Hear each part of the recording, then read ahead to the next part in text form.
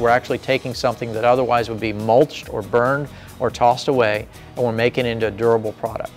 When people are afraid, whether it's because of the election result or um, some sort of experience, part of what we're trying to do is validate that experience for them um, so that they know that that's uh, really valid and really want to honor that that's where they are right now, um, if afraid is what they're feeling. This is going to create a moment of transition that Cuba is already preparing for right now, and it is opening a moment of opportunity to change policy in Washington as well.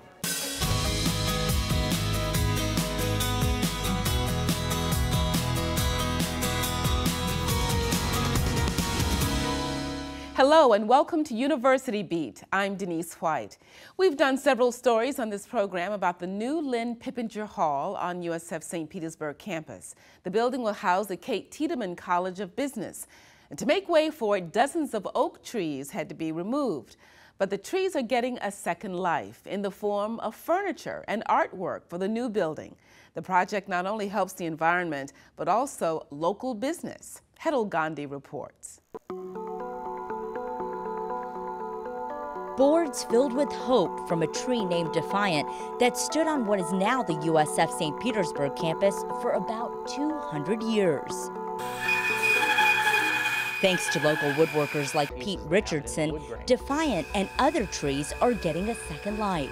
And I actually didn't call it Defiant, I think the students did, because some of them were really still upset, even though they knew that it was going to be recycled and recovered trees, they were still upset that the biggest tree had to go down. And it did because it was in the footprint of the USF building, the Kate Tiedemann Business College. And the root structure on it was where all the pipelines and power lines and all that stuff were going to go. It had to go. But it didn't want to go. Defiant, one of 32 live oaks cleared to make room for the new Kate Tiedemann College of Business at Lynn Pippenger Hall. It was a hard tree. It dull blades and at the very end, the tree climber had stripped off almost all the branches and it was a fairly big trunk and it had one big branch sticking up in the air. So it didn't want to go down, so it didn't go out go down without a fight and it its last photo was basically giving a finger to everyone. So we called it defiant. Those trees, they can be used for so many other things than just going into the landfill. Local business people are partnering with USF St. Petersburg to give new life to Defiant and the other trees as tables, benches, and art to furnish the business college where they once stood. So we're actually taking something that otherwise would be mulched or burned or tossed away and we're making it into a durable product. It does it can save other trees having to go down because of the demand for them. Enormous branches from Defiant's sister Starry Night will become tables. Starry Night was all black on the outside. It was the second biggest tree. And that one had an unusual bark pattern on it of swirls. And when the bark actually was uh, came off, you could see the swirls in it. It looked just like the painting of Starry Night. Each piece is carefully separated from the next to dry. For a year, imagine if all of this had gone to waste. Joe Pettit and Pete Richardson are among eight small business owners in St. Petersburg who are benefiting from more than $100,000 generated by the project. One piece of Starry Night now belongs to Lynn Pippenger, the generous donor for whom Lynn Pippenger Hall is named. I think it's a great idea, and I have a desktop out of one of those trees, and it's beautiful. It's, it's just a really good example to the students to show that we don't just have to toss something aside, that we can actually repurpose it, reuse it, and make something that, that now it's going to have a second life. Students are proud of the university's commitment to sustainability. I think that maybe ingraining a philosophy of sustainability in the students here at the school is definitely really important. That can actually like benefit us and the environment, so we don't have to like you have these plants like you know wasting away and turning into methane or any like products that can be harmful to the environment. Defiant's second life begins on the fourth floor of this building, not far from his sister's, as a 16 foot long, 5 foot wide table in the Dean's conference room. New life in the same space where his enormous branches once danced in the sunlight. For University Beat, I'm Hetal Gandhi. It's the time of year when many USF students are making important decisions about health care. The College of Public Health recently brought insurance advisors to the Marshall Center. These advisors, also known as navigators, help to answer students' questions about the health insurance marketplace. We see often most students don't really understand health insurance, so they need help uh, understanding tax credits, but also um, they get other discounts like the cost sharing, which brings down things like deductibles, the out-of-pocket costs. Um, we don't find that most students can articulate what co-insurance and co-pays are and how they work and how to look at networks and figure out what your um, needs are when it comes to your own health care. The kids need everything. A lot of times we run into the Young Invincibles, that's what they're known as, um, you know, across Navigator Land. Um, they're known as Young Invincibles because they think that they're just invincible to everything. They think that, you know, nothing will happen for them. But what we've been seeing is that a lot of these young invincibles on campus are taking charge of their health. So they're asking things about like, you know, well, what happens if I have a sports injury? Or what happens if I get a cold? Or what happens if there's something that Student Health Services is not able to address for me? And so they come to us with those kinds of questions. She helped me find the plans, and I don't think I would have been able to do it by myself because there's a lot on there to navigate through, and she knew exactly what she was doing, so that worked out for me. Healthcare navigators are at USF year-round to answer questions not only from students, but also from the public. For an appointment or for more information, go to www.coveringflorida.org or you can call 877-813-9115. Both the call and the appointment are free. The election of Donald Trump as our new president will likely bring changes on a number of fronts, among them health care and possibly other public health policies. Dr. Jay Wolfson is the Associate Vice President for Health Law, Policy, and Safety, and the Senior Associate Dean at USF's Morsani College of Medicine, and he joins us now on University Beat. Welcome, Dr. Wolfson. Thank you, Denise. It's a pleasure to be here. Well, what, what a change um, healthcare and public policy may go through with the election of Donald Trump. Um, first of all, all, he has talked about dismantling the Affordable Care Act or Obamacare. But now there seems to be some signals from him uh, that he may not get rid of everything, uh, that he is stepping back and may allow some elements of the program, like pre existing uh, conditions, uh, letting children stay on their parents' um, health insurance until age 26, that the, perhaps uh, he'll keep those two parts of Obamacare. What's your read on what might happen going forward to the Affordable Care Act? First, I think it's important to segregate the benefit plan that's called Obamacare from the rest of the Affordable Care Act that has lots of other stuff in it that's very important and that both Democrats and Republicans often agree about. I think Democrats and Republicans also agree that pre-existing conditions in a plan really are bad for almost everybody and that it's a great idea in our current economy, especially when we have young people coming back from Afghanistan and overseas, not able to find jobs after their military deployment to be able to be under parents' plan. So that, those are things that we, we find uh, attractive, but we have to pay for them. The other things that are attractive to everybody are the closing of the donut hole in Medicare Part D so that seniors don't have to go for a period of time during the year when they have some coverage for pharmaceuticals and then there's this gap where they have to pay out of pocket and then maybe Medicare Part D will pick up again. That's going to close down. So I, I think that it's also critical to recognize that when the Affordable Care Act was implemented, it was very broad in scope. And its drafters said, there's a lot here that needs to be fixed, and we'll fix that later. Many of us recognize that the plan had structural and financial deficits that would not allow it to continue operating as it was built the first day. And we found those things to be true these last three or four years as rates went up. premiums going up. Premiums going up. Large carriers in the country saying we don't want to play with this any longer. The large insurance companies, I call them financial services corporations, uh, and backing away. Uh, the the electronic issues with gaining access to the program. Many people who are covered under the provisions of the benefit plan are subsidized. So they get a, a very robust set of benefits and they don't have to pay anything out of pocket. But for others in America, for many middle class Americans who don't qualify for the subsidy, they have to buy a plan that includes a deductible. Now, some of them pay two, three, five. I know people who are paying six and seven hundred dollars a month for premiums. That's what the premiums have become. And then they find out that they have a deductible that can be anywhere from 3000 to $7,000, and most Americans don't have that money. So when they go to seek care, they say, I can't afford this. So it's deterred many people from continuing to seek care, and then the hospitals have to find a way to collect that money anyway. There are a lot of wonderful things about the Affordable Care Act. The Obamacare portion of the benefit plan had structural and actuarial or financial flaws built into it. And the mandate part of it is something that many of us felt created some real challenges. While the Supreme Court agreed that it was a tax and therefore it was constitutional, some people continue to believe that it wasn't going to work. It's like saying, Denise, I know you don't eat broccoli, but I'm going to make you buy it. Right. And I don't even care if you eat it, but you're going to have to buy it.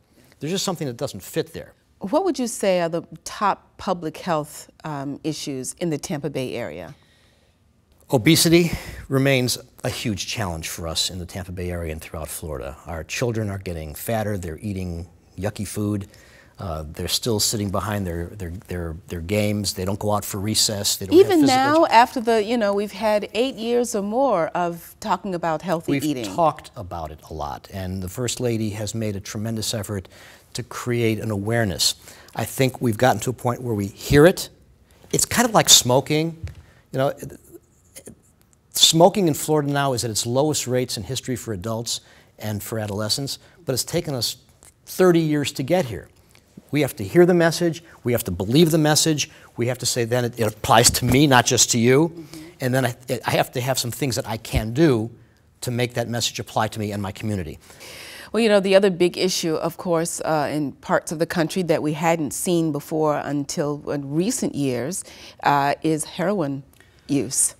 Uh, heroin and opioid use, yeah. Yes, in, uh, in, in Midwestern states, that was kind of a new thing, um, but it's a big thing now. Of course, drug use and drug abuse has been a problem in the country for years and years and years and years. Um, so the heroin and other opiates, what are we seeing locally, though? Are we seeing the same level of that kind of It's growing of faster abuse? here. It's not, it's not as fast as it is in some parts of, of the state and in some parts of the country, but it's growing here. Heroin is it's cheap. It's cheaper than some of the opioids. Uh, it's, it's relatively easy to get, uh, and people are using it, and we're having a, a spike, spike in deaths associated with heroin and opioids. Are you seeing students being drawn to the public health? Oh, um, yes. My goodness. Public health and medicine and nursing are training some of their people together. And we've had the largest application classes for those, those programs in our school's history at USF. It's wonderful. That is And these awesome. are people who are committed to providing care and serving people, not just to carving out an income based career. Thank you so much for joining us. My it's pleasure. Exciting um, discussion, and let's hope things work out well as we go forward in the future for public health care and policy. These Dr. are exciting and dynamic times, and it's up to us. Yes. Dr. Jay Wolfson, thank you. We are approaching what can be a difficult time of year for college students. There can be many issues. Exams are looming, so are the holidays, which can be trying for many people. Even the election could have been very stressful. And some students are away from home for the first time. So where can they turn to for help? At USF, they have the Counseling Center. Uh, for some students, um, you know, by this time they've gotten like their first grades and their midterm grades. And so right now they're just aware of how much they might need to put out to really pass a class or do well. And so all of that can be really stressful if they haven't um, sort of been applying themselves all the way through the semester. And so we'll work with them on relaxation skills, study skills, just planning and organizational skills to sort of get them through that last push. If you get a B, if you get a C, if you fail one exam, um, it's not the end of the world because it can really feel like game over. and so um, helping them to do some reality checking about what um, making some mistakes or not doing as well um, that that's normal and real and okay and we can survive it. Um, for students that the holidays are stressful for, um, sometimes um, some of our students come from um, difficult family backgrounds. And so school actually is a really nice break from their families, or it might be um, a place of safety. When people are afraid, whether it's because of the election result or um, some sort of experience, part of what we're trying to do is validate that experience for them um, so that they, um, you know, know that that's a really valid and really want to honor that that's where they are right now um, if afraid is what they're feeling, and then kind of think about what are ways that we can increase their sense of safety. A lot of what students need, and lots of us need when we're stressed out, is a safe place to just talk about what's going on and feel like we're really being understood and heard. And I think a lot of us um, move really quickly to trying to solve problems for people we love because it's hard to see them in distress. And uh, what we know um, from doing this work is that lots of our students actually are aware of some of their own potential solutions. And so, if they can get a safe space to kind of talk about what's going on and what they're afraid of or what they're stressed out about, um, you can help them slow down enough to kind of think, well, what do you think your resources are? What do you think your options are? And which of those things do you think would be most helpful? American relations with Cuba have warmed considerably under President Obama. One example is the new airline service between Tampa and Havana, but under President-elect Trump, that relationship could change. USF Sarasota Manatee recently marked International Education Week with a panel discussion on Cuba and its future with the U.S. Mark Schreiner reports.